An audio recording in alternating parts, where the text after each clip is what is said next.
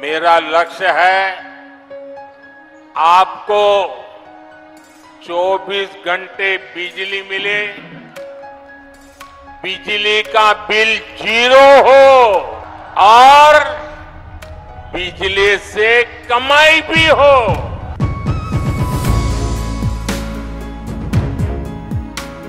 এইটো মাননীয় প্ৰধানমন্ত্ৰী নৰেন্দ্ৰ মোদী ডাঙৰীয়াই আহ, যোৱা বাইছ জানুৱাৰীত ঘোষণা কৰিছিল যে দেশত এক কোটি চ'লাৰ ছিষ্টেমৰ কাৰণে তেওঁ আঁচনি লৈ আছে। আৰু সেই আঁচনি এতিয়া আমাৰ চালু হৈছিলে। তো তাৰে এটা পৰ্চন মানে হেৰি দিয়া হৈছে ছাবচিডি হিচাপে দিব আৰু যি যিসকল বেনিফিচিয়াৰী হ'ব।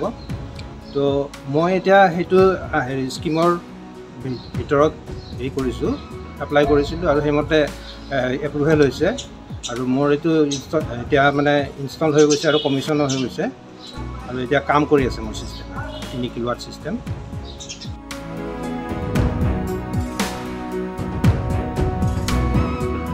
এই ক্ষেত্ৰত মই প্ৰধানমন্ত্ৰী নৰেন্দ্ৰ মোদী ডাঙৰীয়ালৈ অশেষ ধন্যবাদ। কাৰণ এই এই এটা আমাৰ দেশত এটা মানে যুগান্তকাৰী পৰিৱৰ্তন অনাৰ এটা সম্ভাৱনা আছে।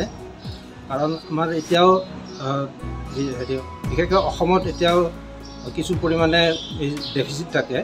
তো সেই ডেফিচিটটো ইলেক্ট্ৰিচিটিৰ যিটো ডেফিচিট সেই ডেফিচিটটো এতিয়া ফুলফিল হ'ব আৰু মানুহ মানে যিস- যিসকলে এই স্কীমৰ আণ্ডাৰত এই এপ্লাই কৰিব তেওঁলোকে বহুতখিনি বেনিফিট হ'ব। মোৰ ক্ষেত্ৰত এতিয়ালৈ মোৰ মোৰ খৰচ যিটো তিনি কিলোৱাটাৰ স্কিম সেইটোত এৰাউণ্ড দুই লাখমান পৰে আৰু।